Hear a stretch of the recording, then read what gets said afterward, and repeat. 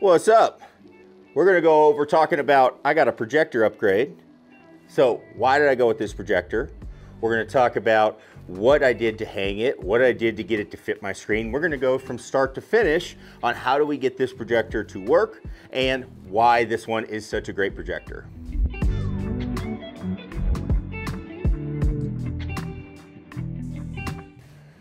What's going on everybody? Scott Hogan coming at you. We're here, we're in the studio and we are back from the PGA show. It's been exciting. We have upgrades. You can see right here, we're gonna be going through this projector. This is the BenQ LK936 ST and we're gonna talk about this projector, why I have it, why I like it, and uh, show you what you might want to see from it and why you might be interested in it. Also, if you're interested in just learning about projectors, going all the way through from how I hung it, all the way through setting it up to get it on to fit onto my screen. I have kind of an oddly shaped screen, so I think I did a pretty good job of getting it on there. So stay tuned for how we do all of that. We had a projector upgrade. Why did we do that? Well, first off, when we were at the PGA show last week, one of the big things I saw was 4K graphics are huge. We're seeing upgrades across the board of softwares. That's just something that's coming down the pipe and you really want to try to take advantage of it. So for me, that's uh, really cool. But also, there's other reasons, you know, using this space for different uses will become very, very valuable as we are going through. So couple of things we are looking at here. Again, this is the LK936ST. This is from BenQ. So a couple of things. One, before we even get into the projector, why I liked BenQ was what they are doing is going through and they are working in this golf simulator space. If you go to their website, they have a ton of resources on how to pick projectors.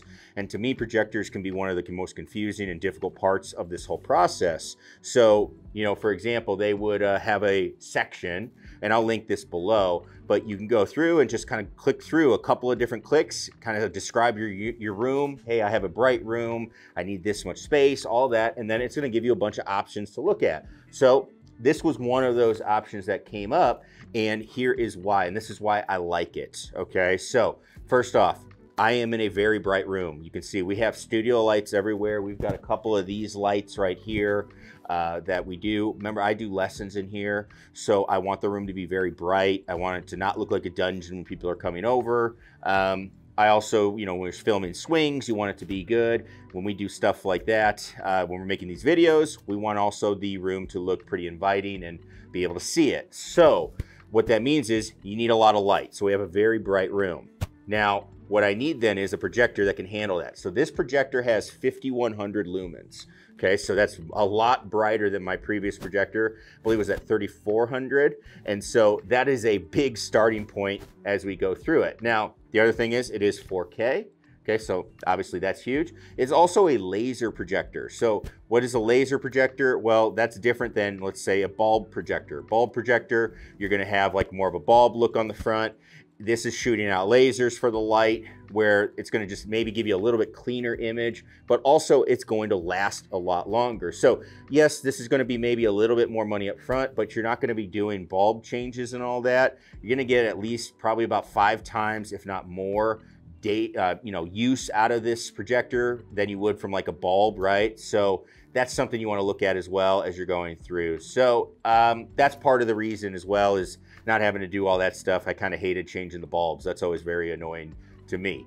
So you have that. The other thing is I wanted it to look good. You know, we're doing these videos and again, I have students trying to have them come over, have this wow factor. Hey, I'm not just in somebody's garage. We are actually out there. We're on the range. We feel like we are there. So I wanted a projector that really can do that. So when I looked at the specs of this projector, what do you have? You have Rec 709 color. Okay, so if you're familiar with cameras and editing and all that, that's just a really good color space. That's all you need to know really about that.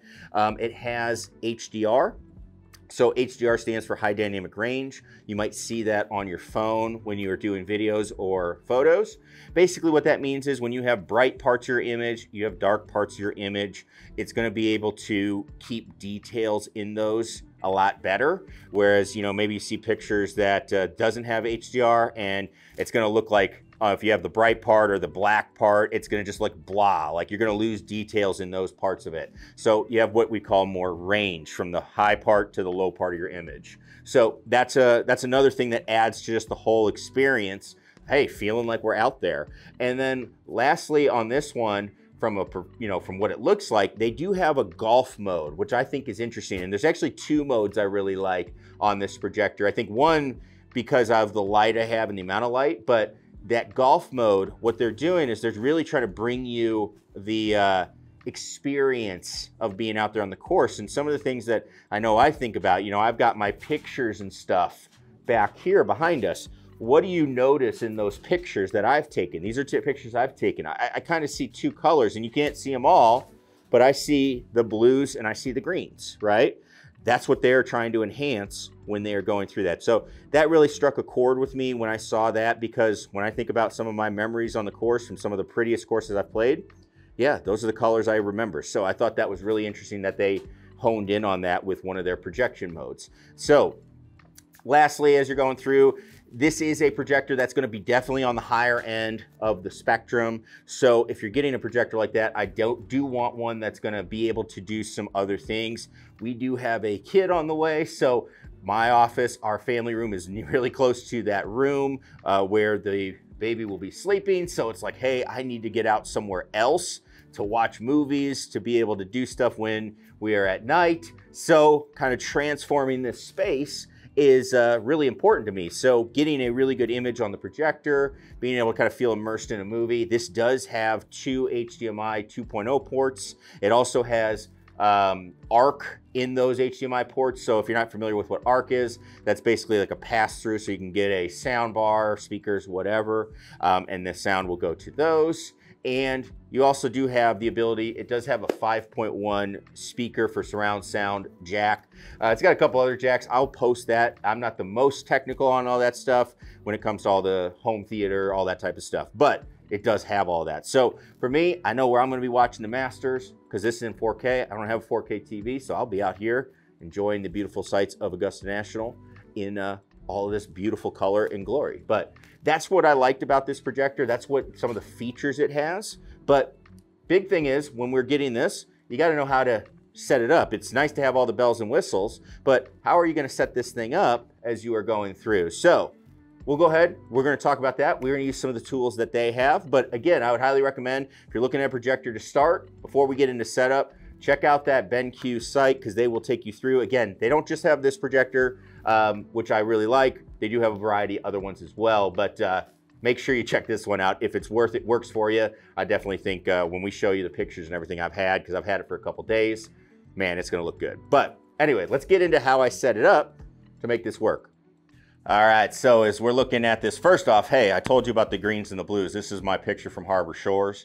Uh, there you go, greens and blues, that's what we're looking for. So let's talk a little bit about how we get this guy set up. So the first thing you're gonna have to do when you are setting up your projector, okay, you have to figure out how far away you want it. So you need to have a couple of goals in mind when you are going through and you're saying, hey, I wanna set up my projector. So the first thing is, when I'm setting this up, if you wanna do this the easiest way possible, is you got to get it to where the vertical is filled. Okay, so top and bottom, you want to have the image filled. It's very easy to bring things in from the sides. It's a lot harder to go vertical. So making sure you figure out how far you need to be so you can get the top and bottom filled, that is going to be the best part of this. Okay, so when we do this, okay, a couple of things. We're going to go through. I measured out the height of my screen. Okay, I measured out the height. It's 91 inches. So what I'm going to do is go to this BenQ projector calculator. So what I like is you can actually pull up, hey, this is what my projector is. So when I go over to this, let's go ahead and get a look at it. Let's see. So first things first, you're going to go over here. You check your model projector. Here we go. I've got mine 936ST. There it is. It's going to populate all the data that you need. And then again, all I really need is I need to put in the height. So uh, mine is 91 inches tall. I'm going to type that in. Okay. From there, you can mess around with some of this stuff on the side, but I didn't do that too much. Um, I'll talk a little bit about that in a sec.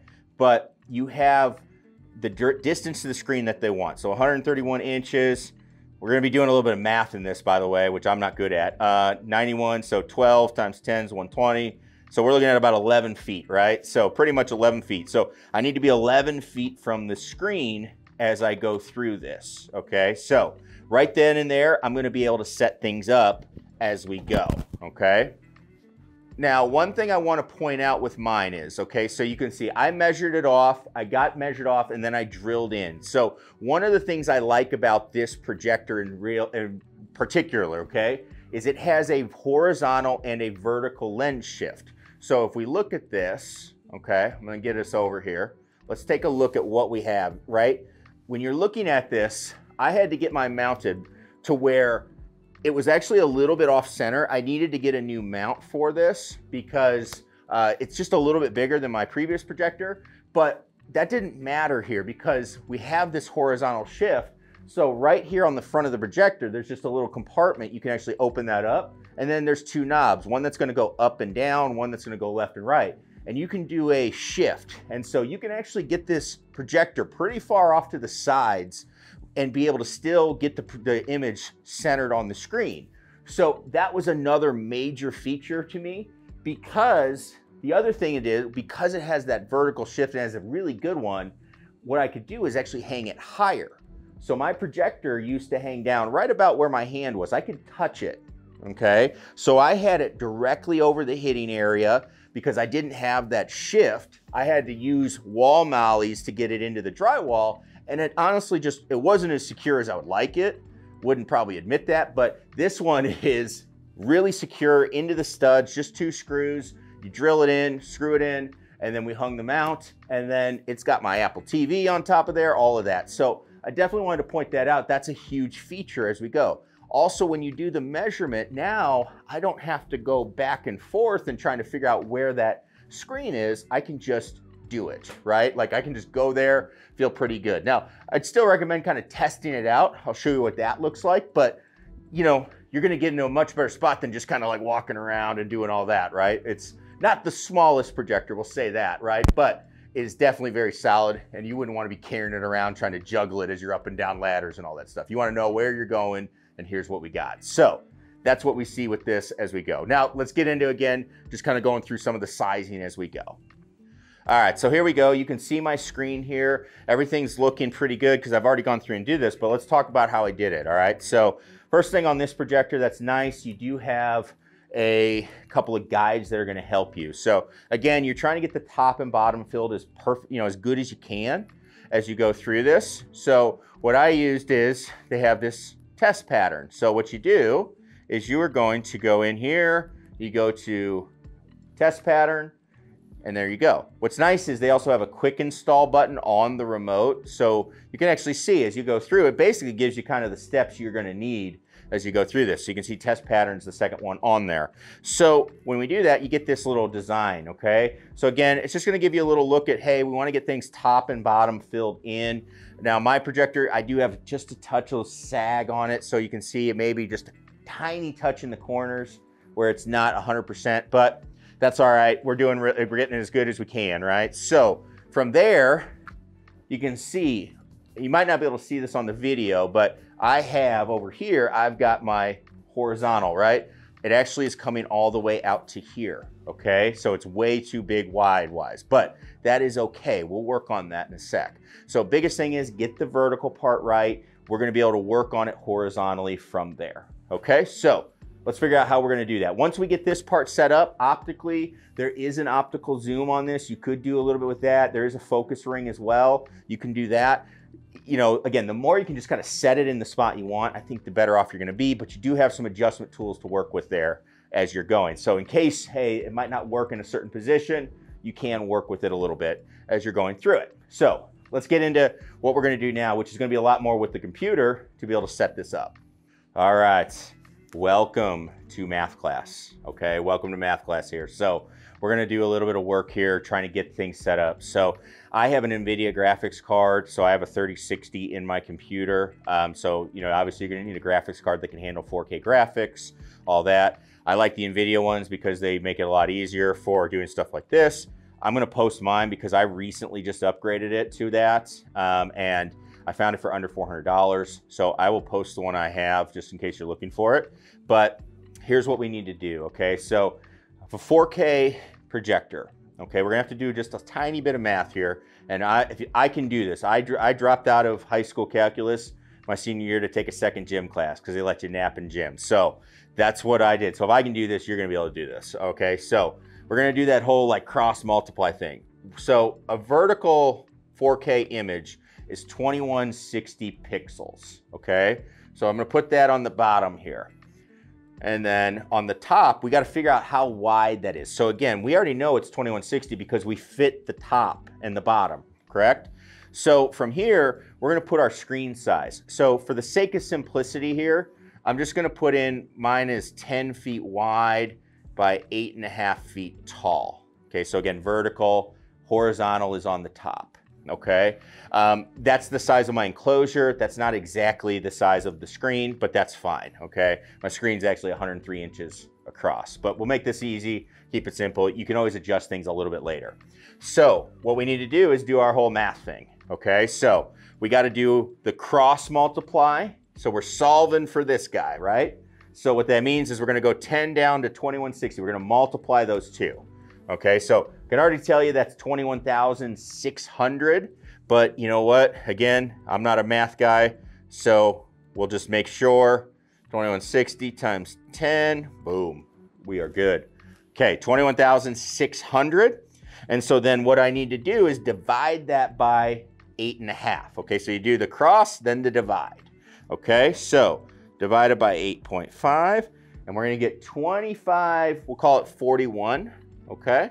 2541. So that is how many pixels across fit onto my screen, okay? So that's what we're gonna do. We're gonna go over and actually make a resolution for our computer that we do. Now, one thing I wanna note, I have not, even though my screen's more of a four by three screen, I actually haven't touched the aspect ratio. I'm still in 16 by nine on my projector, okay? So very, very important to note that. That's what makes this work, okay? So let's get over the computer here. All right, so here we are at the computer. First thing I'm gonna do, let's turn off this test pattern real quick so you can see it. Again, you do have some things that you can do, uh, like a 3D keystone. Um, you can do that. You can also do corner fitting and you can actually shrink the entire image as you go through. So those are things that you can mess around with at the end to just kind of fine tune it. But I think again, as we do this, you're gonna, I think you're gonna get it pretty close as you go. So what we're gonna do here is, again, I've got my NVIDIA graphics card in this computer. So I'm gonna right click on my desktop, go to show more options and go to NVIDIA control panel. So what that's gonna do is that's gonna open up the control panel for this graphics card. What we're gonna do is you're gonna see the three monitors I have connected. So you're looking for the one, we got the BenQ projector. So we're gonna click that.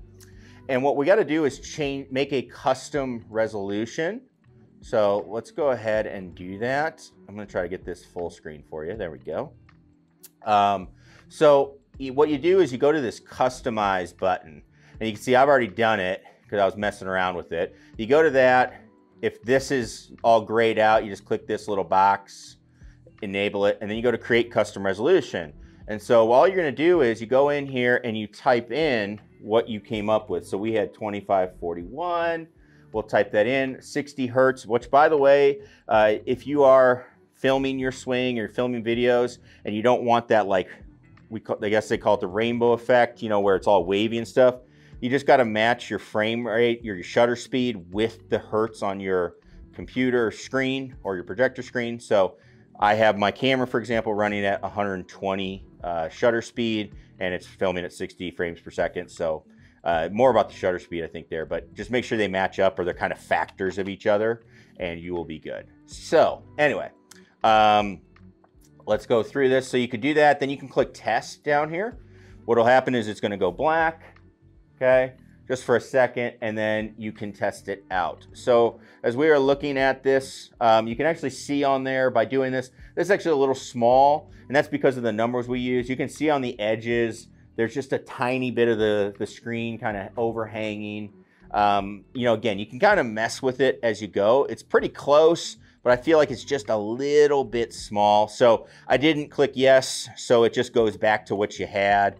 uh, before you do that. So what I use when I did this was I actually went with just a slightly bigger screen. So I'll go back since I've already uh, done it. I'm gonna have 25 by 60 and then that 2160 again on the bottom. So the 2160 should stay the same and then that's what we get for our resolution there. So you just create a resolution in here. That's gonna get you started as you go. So if for some reason you can't change your resolution, what I want you to do is you're gonna go over to this manage 3D settings. So when I first tried to do this, it wouldn't let me do a custom resolution. And what it is, is this is what I found on the internet is you have to go down to this DSR factors.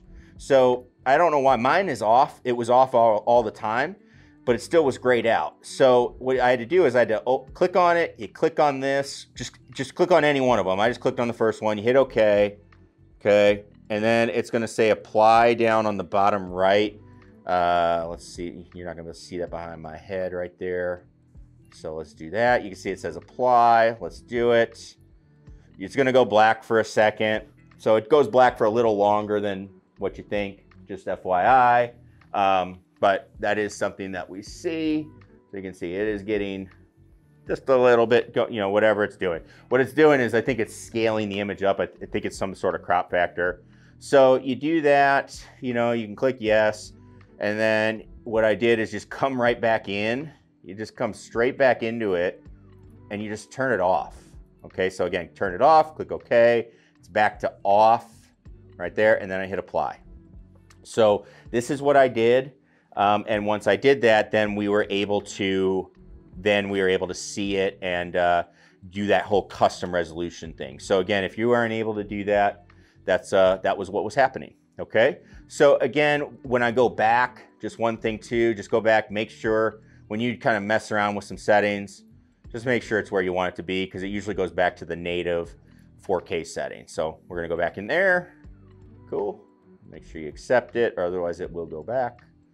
And we should be good to go. Looking good up there. So from there, a couple more steps we gotta do. Second step is we're gonna right click on our desktop again. You're gonna go to display settings. Uh, we're gonna go into uh, the monitor that we are using, so the projector. If you're not sure which one's your projector, click this identify. You'll see the number. So this is monitor number three. The projector is actually number two. Um, so you do that, and then um, actually, let's try. Let's do some HDR. Make sure HDR is on. Okay, see if we can get that on. Yeah, we'll have to try that. All right, so then we come on down here. We're gonna go down to display resolution. Uh, if it's not already there, you just wanna make sure that matches the resolution you just set. You can actually see all the ones I've created, these four right here. Again, 2560 uh, with over 2160 is what we've decided on. So just make sure that's selected. And then the last step is gonna be, we are going to fire up uh, our simulation software. So in your simulation software, you just wanna make sure you select that resolution that you want to play at. So let's go ahead. I'm going to pull this over so you can see it. When you fire up GS Pro, here it is, 2560. You know, in your list, they should have all of them. So 2560 over 2160, and we are doing ultra graphics as we go. So we're good to go. We're going to play. So that's how we get it set up so it's going to work. Now, let's check out how it looks because that's a big deal. All right, so here we go. We've got the 16th hole at Cypress Point Club. I thought we'd showcase one of like the most iconic holes in all of golf. So you can see this thing looks sweet, okay? And this is the amount of light we have shining on this screen right here, and you can still read it clear. Let's just show you this light. All these lights are on this screen, right? And look at how bright that is still.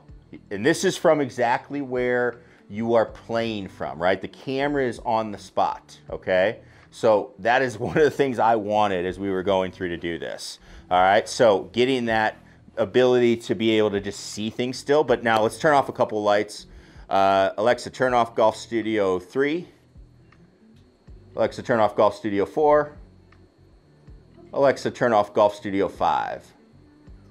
So we turned off some of those lights. We got three of them down, but again, we still have one, two, three, four, five lights on as we go. And you can see now just a lot more. Again, look at the blues, look at the details. You have white up here in the clouds. Look at that. You can see that. You got the greens and the shadows. It just looks awesome. You got the waves crashing here. This is just really, really cool. Again, one of the more iconic holes in golf, maybe the most iconic, and that's what we're looking at. So this is on what we call presentation mode, okay? That's really cool, but let's look at this golf mode as we go, okay? So that wasn't even that mode. So we go to golf mode, okay? So when I look at the golf mode, it's a little bit darker to me. That's what I see. Um, just as far as the overall brightness, but you can definitely see like the greens getting greener and like a deeper green um, in it. And then again, the blues to me look they look good before, so I think they do a great job. But you definitely get some like a deeper color in those blues as well. So again, I think it's going to depend on what you're kind of doing. For me, with all the light, I might be going with presentation mode, but it really is cool. Again, if you got something that's more I'd say traditional simulator setup, just having like a more colorful experience, I think that's going to be really good. And so again, this is on my screen, which my screen's set up for, we're in a very tiny space, really trying to get this up where the ball's not bouncing back and, and all of that stuff. So I think it looks pretty darn good as we're going through. So um, yeah, that's, uh, that's this projector. This is the LK936ST a fantastic projector that, again, if you're really looking to upgrade your graphics and everything, this is the one. Again, I think I would go, let's go back to, uh, let's go back to this presentation mode. I was a big fan of that one.